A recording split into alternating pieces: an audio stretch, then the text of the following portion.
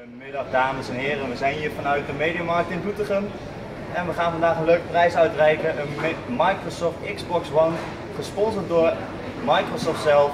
Dat komt omdat we de clubkaartactie gehad hebben tijdens het stadsfeest. Willeke, aan jou de eer om de winnaar of winnares bekend te maken en te trekken. Een heleboel kaarten. Yes. Uh, de winnaar of winnares, nou in dit geval een winnaar, Randy Bevelo uit Doetinchem. Randy, gefeliciteerd met de Xbox One.